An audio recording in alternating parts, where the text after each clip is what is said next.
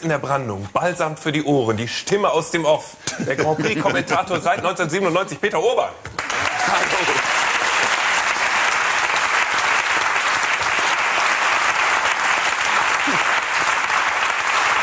Aber das ist ja komisch. Was ist komisch? Ich meine, man macht 30, 35 Jahre Radio, Ja. jede Woche rauf und runter, bringt ganz Generationen mit Musik zusammen, die, die sie sonst nicht gehört hätten. Und für den Song Contest ist man bekannt. Ja, Herr Ober, beschweren Sie sich nicht über die Einschaltquote. Vergangen Nee. nee. 50 Prozent im Unfassbar. ersten. 20 Unglaublich- Millionen in der Spitze. Unglaubliche Zahlen. Ähm, Und Ihre Ruhe äh, bei der Ausübung dieses Amtes ist ja legendär. Ich habe mir das notiert. Ein, ein Bekannter hat kurz nach Mitternacht am Samstagabend im Internet folgenden Satz geschrieben. Herr Urban hat gerade den Sieg gemurmelt. Ach komm. Ja. Und, er, und er meinte das, ich weiß das voller Anerkennung. Wie sah es aber in Ihnen aus? Nein, ich wusste schon natürlich, dass das da in die Richtung geht, aber ich war echt schockiert. Also ich dachte nicht, dass ich in meinem Leben noch mal zwölf Punkte äh, verkünden könnte und in dieser äh, Häufigkeit. Es war einfach unglaublich. Ich war echt erstmal schockiert. Dann habe ich schon gemerkt, das geht in die Richtung und dann habe ich aber auch äh, viel enthusiastischer reagiert, als man das vielleicht erinnert. Aber alle haben zu Hause nur gejubelt und haben meinen Kommentar nicht mehr gehört. Also ich habe ganz oft gesagt, hier, das ist ja ein Hammer, das ist ja unglaublich. Natürlich hätten wir den Sieg noch ein bisschen früher verkünden können, aber ich bin ein gebranntes Kind. Ich habe vor einigen Jahren mal was falsch gesagt. Ich habe mal gesagt, äh, die sind jetzt Gewinner und die waren es noch nicht. Also habe ich gesagt, rechne noch mal durch. Sind es noch wie viele Länder? Es war aber schon klar, sechs Länder vor Schluss waren wir schon durch. Es war 0 Uhr und 4 Minuten. Ach und, was. und Sie haben gesagt, ähm, den historischen Satz, das Rechenzentrum verkündet, Deutschland ist uneinholbar. Hab ich gesagt? Rechenzentrum habe ich nicht im Mund genommen. Jetzt, jetzt wollte ich Sie gerade fragen, wer oder was oder wo ist dieses mysteriöse Ich Rechenzentrum? habe hab nie im Leben was. Das gucken wir gerne noch mal nach. Das- das ich würde das, Wort- das Wort nicht Wir, sollten, nehmen. wir sollten ohnehin Okay. diese schönen Momente noch mal nachgucken. Äh, die historischen Minuten und auch dann Peter Urbans Erscheinung vor der Kamera. Vergangenen Samstag. Schauen wir mal. Bitte. Acht Punkte aus Mazedonien und damit ist es so klar wie Kloßbrühe, möchte ich sagen. Lena hat gewonnen. Lena ist die Gewinnerin des Eurovision Song Contest. Eine unglaubliche Geschichte. Lena hat gewonnen. Herzlichen Glückwunsch. Es muss wirklich eine Woche für dich gewesen sein. Unglaublich. Du hast das super gemacht. Du bist cool geblieben. Du hast wirklich dich von doofen Fragen nicht belästigen lassen. Und du hast es trotzdem durchgezogen und hast heute eine unglaublich gute Performance hingelegt. Hast du das gewusst, dass du heute gut bist? Also normalerweise ist es so, auch schon in den USFO-Shows war es so, oh Gott, du zitterst.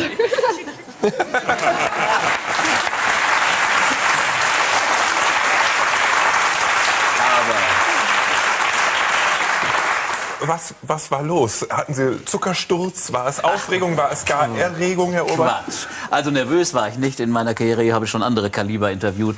Äh, das war nicht das Thema. Aber äh, Sie müssen sich vorstellen, es gibt das Ritual, dass der Kommentator des Siegerlandes den Sieger interviewt auf der Bühne. Man sitzt ungefähr Luftlinie 150 Meter, äh, so im vierten Stock oben über den Tribünen in kleinen Kabinen. Dreieinhalb Stunden Sendung. Total heiß. Man hat den Kopfhörer auf die ganze Zeit. Man ist konzentriert angespannt. Und dann steht da eine Frau von der IBU und treibt einen durch die Halle über Gänge, Treppen, Norweger, alles ist im Weg, weggeräumt. Man muss da runter. Und ich habe nach meiner Operation im vergangenen Jahr nun noch nicht wieder das Trainingspensum äh, erreicht, dass ich richtig wegen laufen kann. Knie-OP Nee, eine ne. Knie-Hüft-OP. Oh, hey. So, und nun, nun ich im Schweinsgalopp da hinterher, bin natürlich außer Atem auf der Bühne und dann sagen die auch noch, ja, gut, Interview. Ich dachte, es wäre ein aufgezeichnetes Interview für die IBU zum Schneiden. Die- die äh, sonst hätte ich vielleicht mal einen Kamm in die Hand genommen. Ne? Äh, so, so, dann stehe ich da, es geht raus nach Deutschland. Ich weiß das nicht. So, ich interview die, äh, die war ja auch süß. Ich meine, die ist ja, ist ja, ist ja klasse. Sie ist einfach toll und cool und ein Ausnahmetalent und ich habe mich super gefreut. Aber die Situation war wirklich eigentlich ein Witz. Also,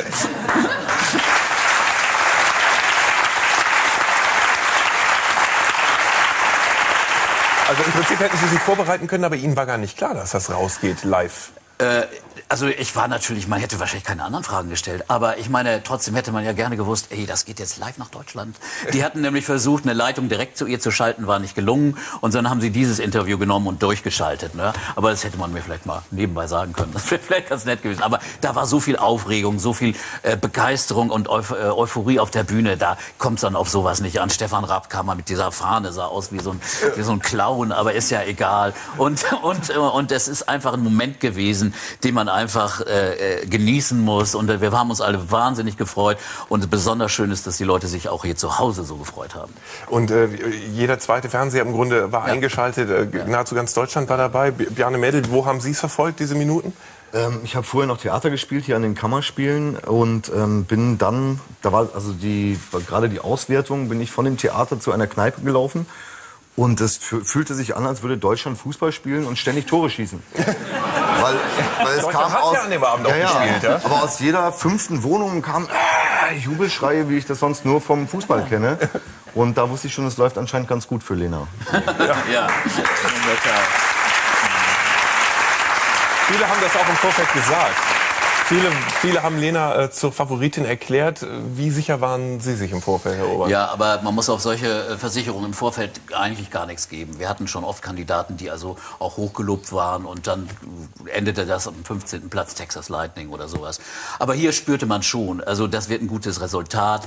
Die Aufmerksamkeit der Presse, auch der ausländischen Presse war sehr, sehr hoch, weil sie eben einfach auch eine ungewöhnliche Erscheinung, eine Ausstrahlung hat, die eben äh, anders ist als bei anderen Künstlern. Sie ist nicht so eine Stereotype. Sie ist, hat immer eine eigene Persönlichkeit mhm. und das ist das Tolle an ihr. Und wenn man denen dann noch erzählt, wie dem englischen und dem schwedischen Kommentator, dass sie erst seit vier Monaten eigentlich professionell auf der Bühne steht oder halb professionell, die fielen aus allen Wolken. Mhm. Die konnten das ja eh nicht glauben.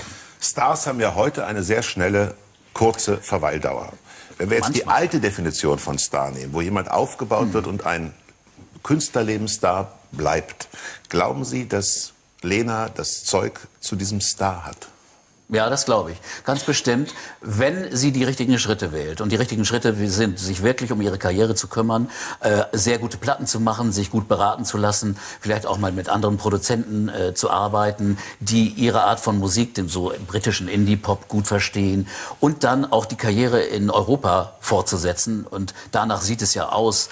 Die, die äh, Verkäufe sind ja großartig, auch in anderen Ländern. Hier haben wir, glaube ich, die Chance, dass da mal ein, ein Popstar aus Deutschland kommt, der europaweit äh, Erfolg haben kann, wenn sie wirklich vernünftig bleibt und nicht als äh, Miss Eurovision Song Contest einfach äh, in der Erinnerung bleibt, wie das mal Nicole passiert ist. Und insofern finde ich die Idee, sie dann nochmal antreten zu lassen, äh, gar nicht so verkehrt. Am Anfang dachte ich, ey, ist das jetzt wirklich weise? Äh, äh, verliert sie dadurch nicht die Aura, die sie eigentlich hat?